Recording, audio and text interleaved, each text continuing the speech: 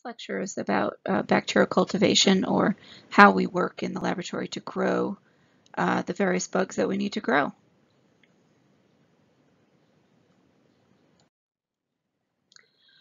The basics uh, in bacterial cultivation, you've already gone through this in your micro lab. Um, we just tailor it to the clinical setting and the organisms that we know grow in the various specimens that we get. So just to remind you of some of the um, principles, we have to remember the difference between in vitro and vivo. That's one of the most important things. Um, just because the organism is growing well in the patient doesn't mean that we have a place in which to grow it in the laboratory. So in the patient or in a live organism is an in vivo situation. Um, on a agar plate is an in vitro uh, situation. Um, so we have to try and replicate as well as possible the um, environment that the uh, bacteria has inside the patient so that we can get it to grow pretty well. And we have artificial medias that allow us to do that uh, and actually grow it up um, so much better that we can actually see it. Now, different bacteria have different nutritional needs. So we have a whole bunch of different types of media that have been developed um, to suit the needs of the various pathogens that we're trying to target. Okay, some bacteria are very fastidious or fussy, um, and some bacteria are what we call non-fastidious, meaning they'll pretty much uh, live uh, if you give them the basic needs. Okay, atmosphere right, enough uh, protein, sugar available for them uh, to use, they'll they'll be pretty happy uh, as as as far as uh, growing in the laboratory. So in the laboratory, we're going to focus on being able to um, grow up uh, not just the majority of organisms which are non-fastidious, but also those fastidious ones that we don't want to miss. Uh, so the basics of media, we have a few different types uh, of media uh, that are available to us to use in the laboratory. Um, probably, and, and, these are not given in any particular order, but broth uh, media or liquid media, um, exactly what it sounds like. It's a liquid media. Um, and they're very useful because uh, organisms um, like to grow, um, most organisms like to grow very well in a broth media. And it's pretty easy to see when there's organisms growing in there because what was a clear broth becomes cloudy. And that's the evidence that there's growth in there. The limitations of broth media are that you can't see individual colonies and you can't manipulate the, the bacteria within the broth like you can off of a solid agar media where you can get a loop full of pure organism. Basically, the broth is just a bunch of nutrients that have been dissolved in water. Um, I mean, you could you could make a broth at home, you know. Um, if you've ever left something in, you know, milk that can be a broth for the organisms and that'll sour your milk. Um, those are all different um, things that you can, you know, very easy to make at home. When you add um, agar to a broth media, you convert it from, or it's agarose, from a broth to a solid media, which will solidify the, all the nutrients, all the agents in that that had previously been uh, dissolved in the water.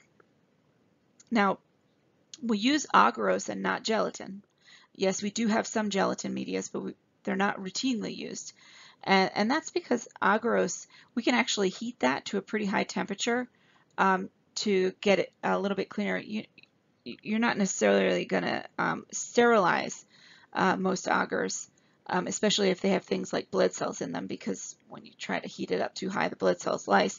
But many agars can be sterilized if they don't have uh, living cells in them, and that allows us, um, it gives us, you know, great, um, nice clean things to work with. Um, whereas if you were to use gelatin, gelatin has a tendency to, to melt at a lower temperature. Uh, and then we have a, a, third type of or form of uh, media, and that's called biphasic.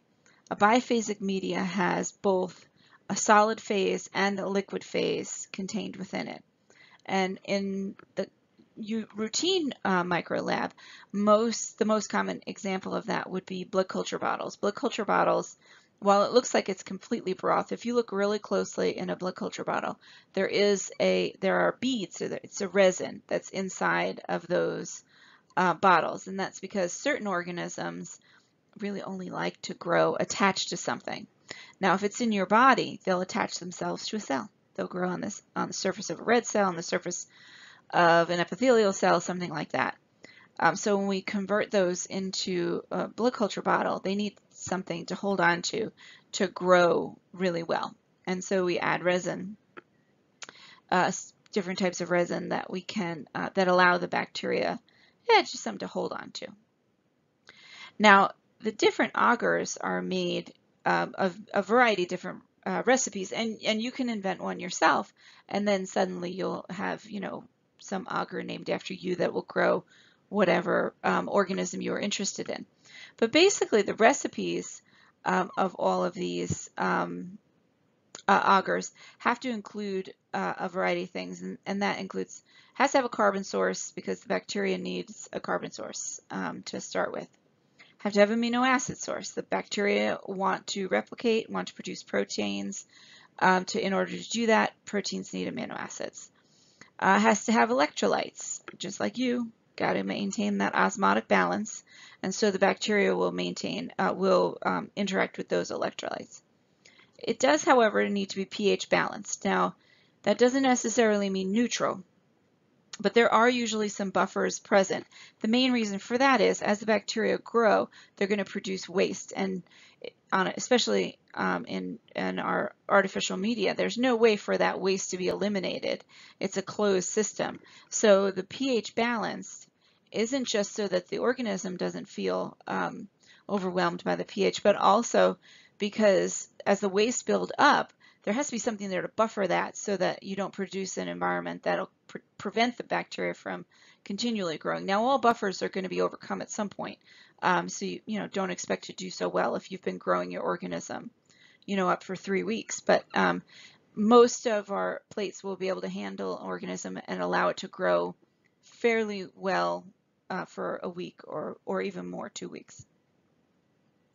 And then um, the presence of indicators is optional. Some uh, agar plates do have indicators, others don't. And the indicators can be for um, any characteristic that you're looking for, the most common one that we would be looking for is, um, say, lactose fermentation. So if an organism is capable of producing, of, of fermenting lactose, uh, there are indicators present in some media that can demonstrate that to us. And um, we'll get into uh, how that works uh, going forward.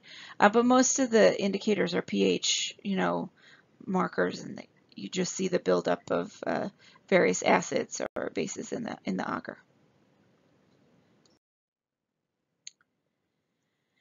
Now, any media that you're going to come across is going to be classified as one of four different types of media, not or a combination thereof. So we have um, four basic types, and uh, the, a media can be one, or a, uh, it can actually fit into more than one of these characteristics at the same time.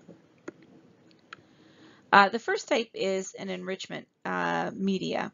Uh, an enrichment media contains the specific uh, nutrients that are required for the growth of a particular um, organism. So for example, um, uh, chocolate agar is a, an enrichment media, and or uh, BCYE, also an enrichment um, agar. chocolate agar is it's colored it's brown, the color of chocolate.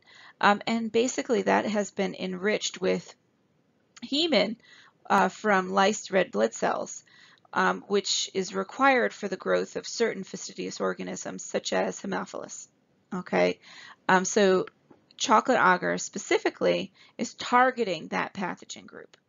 Are there other things that can grow on enrichment media? Yes, Lots of other things can grow in enrichment media. Most other things can grow in an enrichment media. However, the um, the organism with which you're targeting, Haemophilus in this case, can't grow on other medias that don't have that enrichment in it. And that's the point. BCYE um, is also an enrichment uh, media, and it's for um, Legionella, and it's been enriched with uh, cysteine, which uh, Legionella requires um, for growth. It can't can't um, uh, manufacture its own, so it needs to get it from the environment. And in this case, the environment is the agar. Uh, a second uh, classification are the supportive um, medias. Uh, a supportive media is uh, probably the most basic type.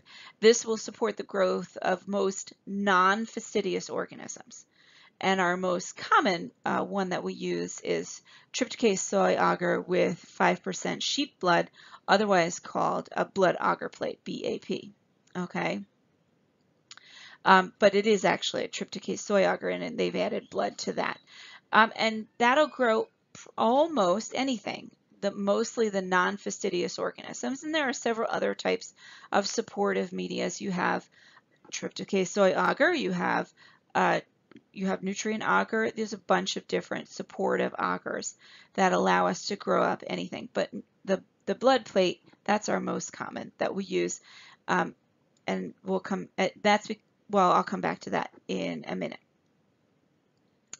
Uh, a selective uh, agar. A selective agar um, specifically inhibits certain groups of, or a group or certain groups of organisms except for the group that you're targeting, the one that you're looking for.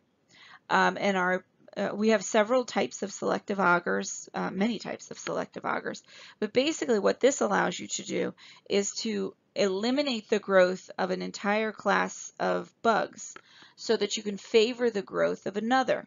So in a particular area when you're looking for, say, um, you know, for example, the stool has lots of gram negatives. Okay, well, we're if we want to look for gram-positive pathogens, we do we really want to weed through all those gram-negatives at the same time? So if we use a gram-positive plate like a CNA or a PEA, the gram-negatives won't grow and we can just look at the gram-positives that grow.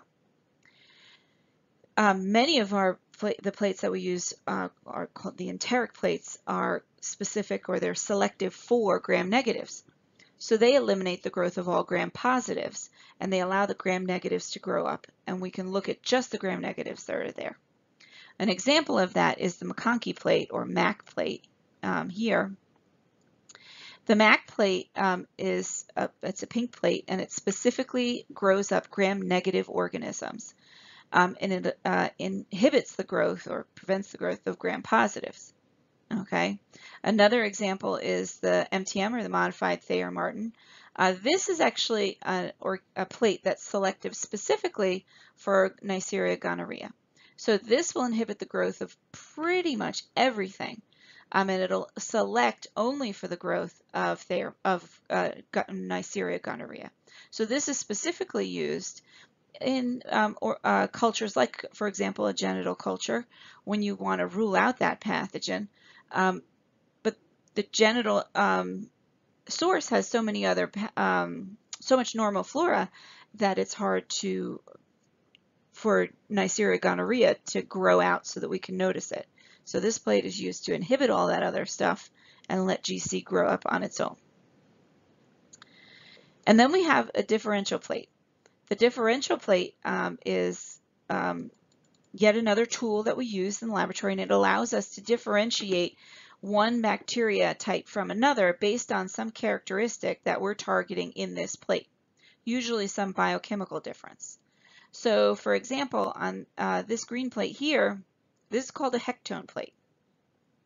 This plate here, or HE, so this is a Hektoen or an HE plate. This plate here um, as you can see, the plate itself is green, so it would have been this green color uh, before we inoculated it. And this plate is both selective and differential. So the Hektoen plate selects specifically for gram-negatives. So the only things that can grow on here are gram-negative organisms. But it's also differential. And so we're looking for at a couple of things that happen on the HE uh, plate we can see that there are some yellow colonies. You can see this yellow colony here, and we have black colonies. The, um, the plate itself can differentiate between lactose fermenters and non-lactose fermenters. If a colony is yellow on an HE plate, it is a lactose fermenter.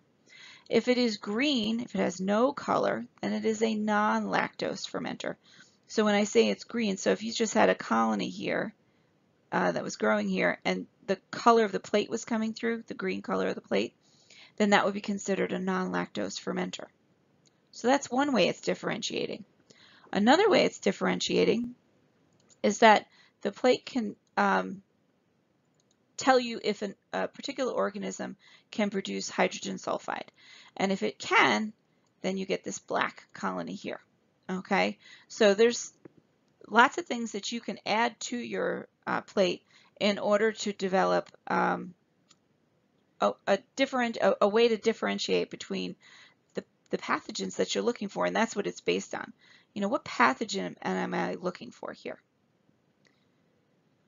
And then we also have, um, so those are the four basic types of plates that you're going to use, but then we also have various metabolic test medias. Um, and those are medias that are developed specifically to look for a particular characteristic. Those are the, the metabolic test medias would not be used um, for from to plate a particular specimen onto.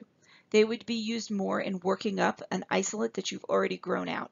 So if you grow out, for example, if we grow out this particular um, black colony here, we might want to place that colony on a urea agar, which is a metabolic test media, um, and it would be able to tell us whether or not that colony can produce urea or not.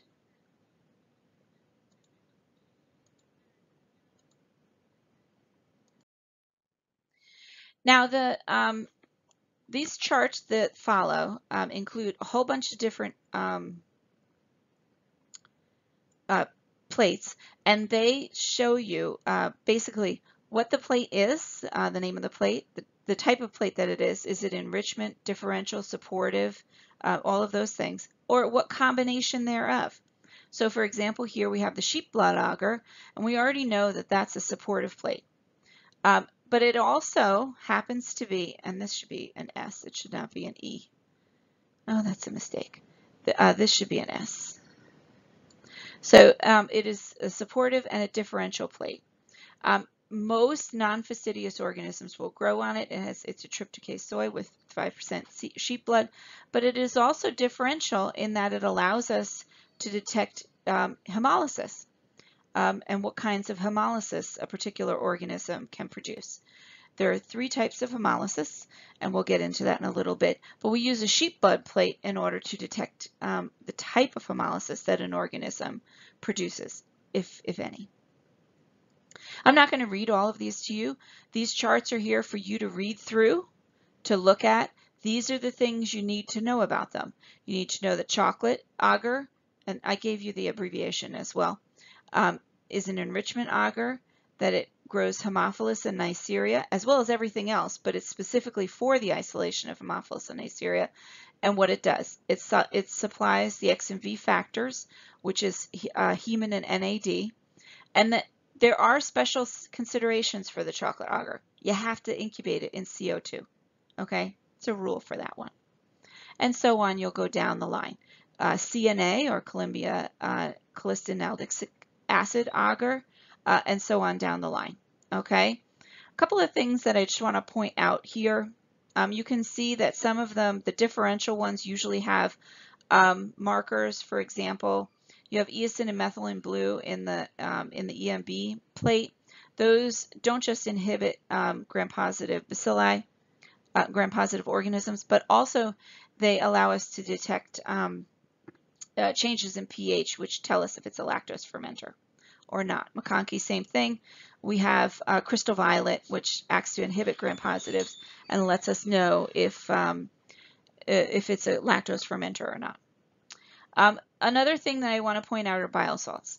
When you see a plate that has uh, bile salts in it, you know that that is most likely 4 gram negative. If it has large amounts of bile salts in it, then that allows us to detect the ability, the um, production of H2S. So just to differentiate here, both MacConkey and HE have bile salts in them.